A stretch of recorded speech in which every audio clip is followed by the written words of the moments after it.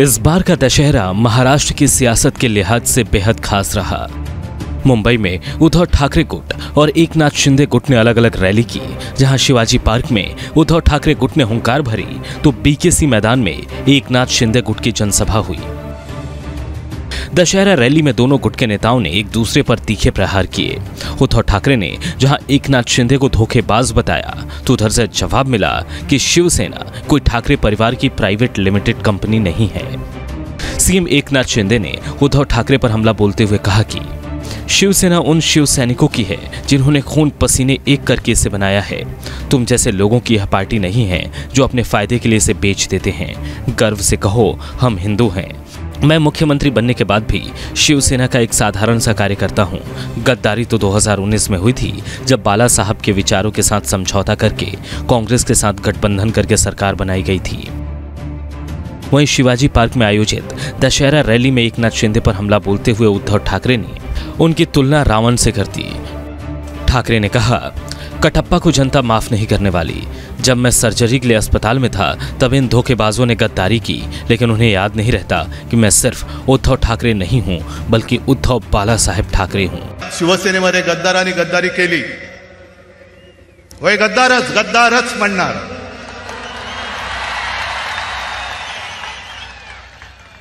कारण मंत्रीपद तुमच्या बुडाला चिकटलेली जरी असली, ती काही काळापुरती आहेत. पण कपाळावरती गद्दारीचा शिक्का या जन्मी तरी पुसून पुसता येणार नाही. पुसायचा म्हटलं तरी पुसता येणार नाही. गद्दार!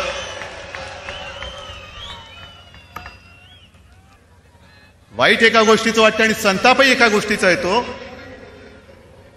की जेव्हा मी माझ्या शस्त्रक्रियेसाठी हॉस्पिटलमध्ये होतो मी बोललो नाही तुमच्याशी. माझी बोटं सुद्धा हालत नव्हती. शरीर पूर्णपणे निश्चल पडलं होतं. त्यावेळेला ज्यांच्यावरती मी जबाबदारी दिली होती ते कटाप्पा. हो कटाप्पा म्हणजे जे कट करणारे आप्पा ते कटाप्पा. कोणी केली गद्दारी? तुम्ही केली गद्दारी. आम्ही गद्दार नाही तुम्ही गद्दार आहात.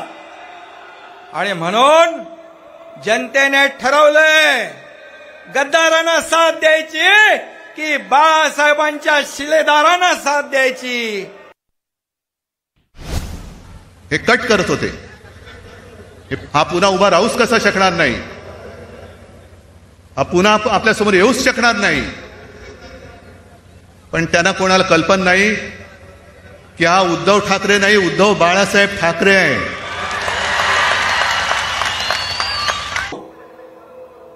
तुम्ही तर त्यांचे विचार विकले. आम्हाला म्हणता बाळासाहेब आम्हाला म्हणता बाप चोरणारी टोळी निर्माण अरे, तुम्ही तर बापाचे विचार विकले. तुम्ही बापालाच विकण्याचा प्रयत्न केला. ती काय टोळी, आम्ही तुम्हाला ती टोळी म्हणायचं? हालाँकि ठाकरे की इस बात का जवाब देते हुए शिंदे ने कहा, वो मुझे कटप्पा कहते हैं. हालाँकि कटप्पा का भी एक सम्मान और स्तर था। वो उनकी तरह दोहरे चरित्र का व्यक्ति नहीं था। इस रैली के दौरान उद्धव ठाकरे के भाई जयदेव ठाकरे शिंदे गुट का समर्थन करने पहुँचे थे। इसके बाद शिंदे गुट के नेता राम कदम ने उद्धव ठाकरे पर निशाना साधते हुए ये भी कहा कि जो लोग अपने परिवार के लोगों को जोड़कर नहीं रख सके, वे पार्टी क्या जोड़कर रख पाएँगे?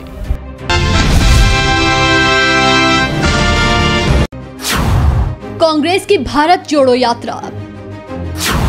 पहली बार शामिल हुई सोनिया गांधी। जाने क्या है मायने। राहुल गांधी भारत जोड़ो यात्रा पर हैं। आज बेटे राहुल गांधी की भारत जोड़ो यात्रा में कांग्रेस की अंतरिम अध्यक्ष सोनिया गांधी भी शामिल हुई। सात सितंबर को ये यात्रा कन्याकुमारी ऐसी शुरू हो गई थी। शुक्रवार को यात्रा गुंडेलपेट से कर्नाटक में प्रवेश हुई। मांड्या से सोनिया गांधी ने आज यात्रा में एंट्री ली है। बता दें कि कांग्रेस की भारत जोड़ो यात्रा लगातार चर्चा में है। राहुल गांधी अपनी इस यात्रा के दौरान लोगों से लगातार मिल रहे हैं। वहीं बीजेपी इस यात्रा को लेकर कांग्रेस पर लगातार हमलावर हो रही है। इसी बीच आज सोनिया गांधी इस यात्रा में शामिल होकर इस यात्रा को नया मोड़ दे रही हैं। उनके साथ इन दिनों कांग्रेस पार्टी अध्यक्ष पद का चुनाव लड़ने को लेकर सुर्खियों में रहे, मल्लिकार्जुन खड़गे भी शामिल हुए। ऐसे में राहुल की इस यात्रा को बूस्टर डोज मिल गया है। सड़क पर कांग्रेस की अंतरिम अध्यक्ष के इस पैदल मार्च से पार्टी को नई ताकत मिली है। लंबे समय बाद सोनिया का इस तरह से पार्टी के भारत जोड़ो यात्रा से जुड़ना नए संकेत दे रहा है। ऐसा लग रहा है, मानो जैसे कांग्रेस ये बताना चाहती है कि उसका मिजाज अब बदल चुका है।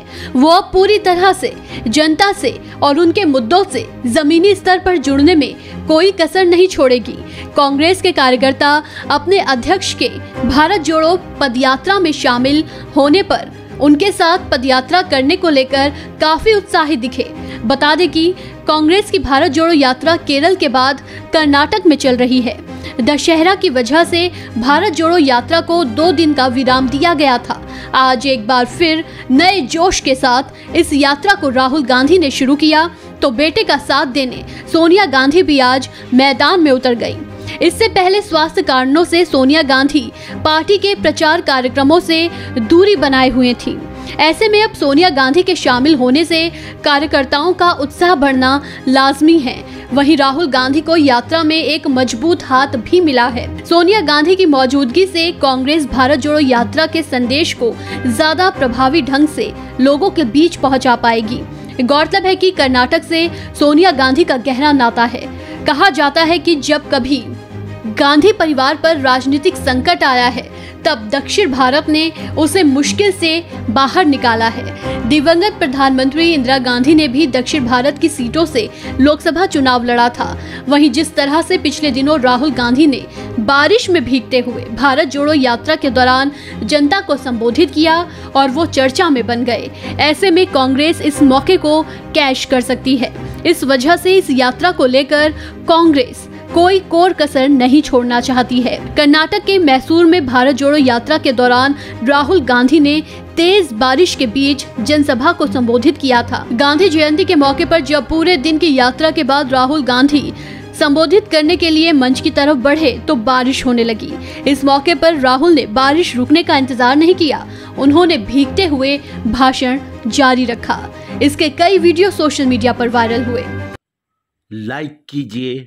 सब्सक्राइब कीजिए और शेयर कीजिए। बेल आइकॉन बटन दबाना ना भूलें और देखते रहिए आपका अपना चैनल फोकस हिंदुस्तान और अपने कमेंट्स ज़रूर भेजें ताकि हम फिर से हाजिर होंगे एक नई खबर के साथ। जलपाईगुड़ी में जलतांडव। सैलाब ने ली लोगों की जान। देखते ही देखते बह गए लोग। पूरे देश में बीते दिन दशहरे की धूम रही। इस दौरान लोगों ने विजयदशमी के मौके पर पूजा अर्चना की। लेकिन पश्चिम बंगाल से एक बड़ी खबर है। जलपाईगुड़ी के जिला माल बाज़ार के माल नदी में दुर्गा की प्रतिमाओं के विसर्जन के दौरान अचानक बाढ़ आ गई, जिसमें सात लोगों की डूबने से जान चली गई और कई लापता हैं। ये सैलाब इतना भयंकर था कि वहाँ मौजूद लोगों की साँसें अटक गईं। एक के बाद एक लोग बहते रहे। घटना के वक्त सैकड़ों की संख्या में लोग माल नदी के तट पर विसर्जन के लिए आए थे। अचानक बाढ़ आई और कई लोग बह गए। देखिए मौके का ये वीडियो।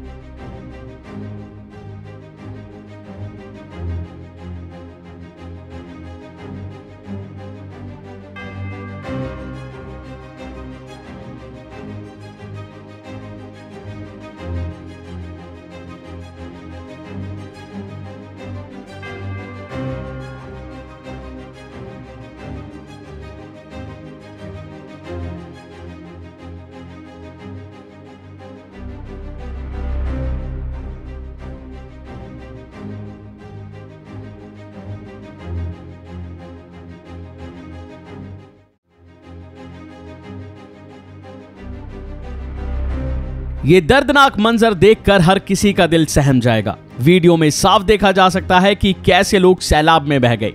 रात 9 बजे कई लोग माल नदी के किनारे जमा हुए थे, लेकिन अचानक आई बाढ़ में ये कई सारे लोग बह गए। प्रशासन ने वहाँ मूर्तियों का विसर्जन तुरंत रोक दिया। लगभग 40 लोगों को बचाया गया। जलपाईगुड़ी की डीएम मोमिता गोदरा ने कहा कि स्थानीय लोग वहाँ देवी दुर्गा की मूर्तियों का विसर्जन करने के लिए जमा हुए थे। अचानक आई बाढ़ में लोग बह गए। सात शव बरामद हो चुके हैं जबकि 50 लोगों को सुरक्षित निकाला। खोज और बचाव अभियान जारी है। एनडीआरएफ, एसडीआरएफ, पुलिस और स्थानीय प्रशासन बचाव कार्य में लगा हुआ है। तो वहीं इस घटना पर प्रधानमंत्री नरेंद्र मोदी ने दुख जताया। उन्होंने अपने प्रियजनों को खोने वालों के प्रति अपनी संवेदनाएँ व्यक्त की। तो वहीं सीएम ममता बनर्जी ने भी घटना पर शोक जताते हुए घटना का संज्ञान लिया और अधिकारियों को ज़रूरी दिशा निर्देश दिए।